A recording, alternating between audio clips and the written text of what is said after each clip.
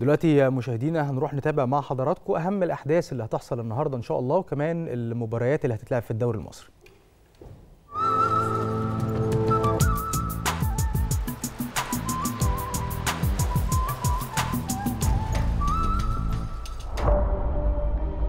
بخصوص الأخبار اللي هتحصل النهاردة فالنهاردة هينطلق العرض المسرحي نقدر في دار الأوبرا واللي بيجي ضمن مبادرة وزارة التربية والتعليم بالتعاون مع وزارة الثقافة وبالمشاركة مع قنوات مدرستنا وبرعاية الشركة المتحدة للخدمات الإعلامية.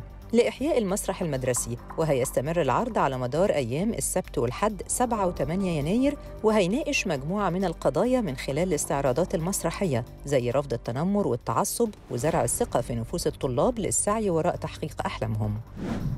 النهارده هتبدأ هيئة السكك الحديدية تشغيل خدمة جديدة بعربات درجة ثالثة مكيفة على خط القاهرة المنصورة والإسكندرية المنصورة وهيتم تشغيل قطار 3017 بعربات درجة ثالثة مكيفة القاهرة المنصورة. كمان هيتم تشغيل قطار 3021 و 3022 بعربات درجة ثالثة مكيفة المنصورة الإسكندرية خدمة جديدة وهيقوم من المنصورة الساعة 7 وخمس دقايق وهيوصل إسكندرية الساعة 10 إلا 10 وده بيجي في إطار التطوير المستمر اللي بتقوم بيه الهيئة القومية لسكك حديد مصر للعمل على توفير أفضل خدمات السكك الحديدية لراحة الركاب وتحقيق أكبر قدر من التيسير عليهم والارتقاء بالخدمات المقدمة من خلال تشغيل القطارات.